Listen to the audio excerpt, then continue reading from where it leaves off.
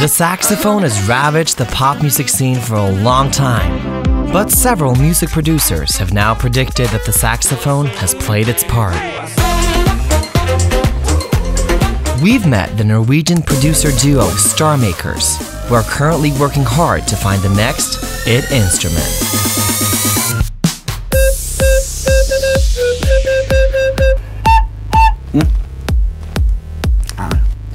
we want to be pioneers you know we want to we want to find the new it instrument you know the next saxophone Or we could just wait for someone else to find it, copy them, and uh, make tons of money, just like Pitbull. we are not like pitbull Glenn.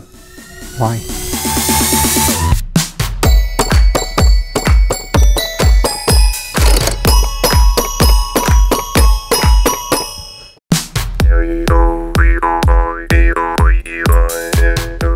Personally like the sax. I love it. It's a fantastic instrument. Well, why don't you try the saxophone then someplace else and I'll stay here and try different instruments? Yes, but I'm just saying I'm personally like the sax. Okay, we try again.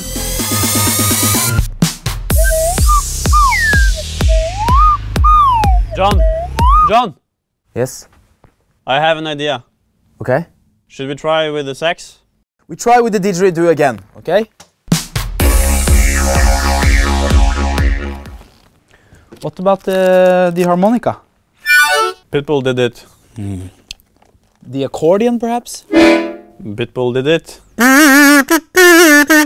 kazoo Pitbull has an entire album. kazooba goddamn pitbull It's a really good album. but if he did the kazoo we're not doing the kazoo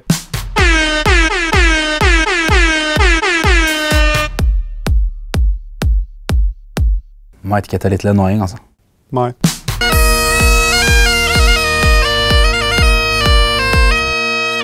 You should uh, you should try to play it a little bit more um, uh, sexy, like the sax.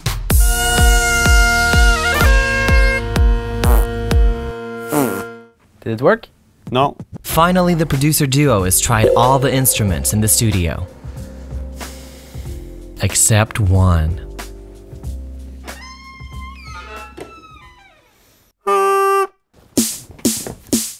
Now we are talking, John. I'm gonna wear the hat now, John.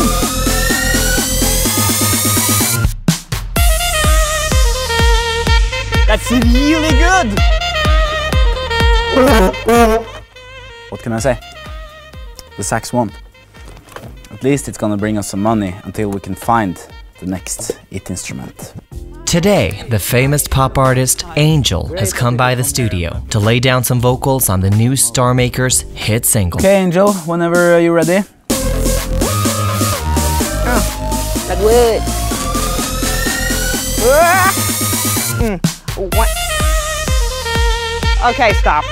Uh, stop, stop, stop. Huh? Uh, really? Saxophone? Yes? No, the saxophone's dead. Haven't you heard a new Pitbull track?